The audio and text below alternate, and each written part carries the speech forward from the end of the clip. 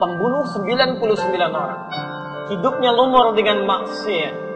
Memiliki keinginan untuk merubah, ingin ikut ta'lim, belum sampai ke tempat ta'lim, maut datang menjemput yang bersangkutan.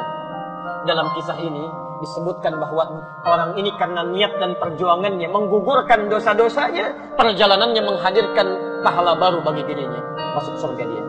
Anda tanyakan pada diri Anda, pernahkah membunuh orang sampai dengan hari ini? Seburuk-buruknya manusia ketika akan merubah tanda pertama ini selalu dilekatkan.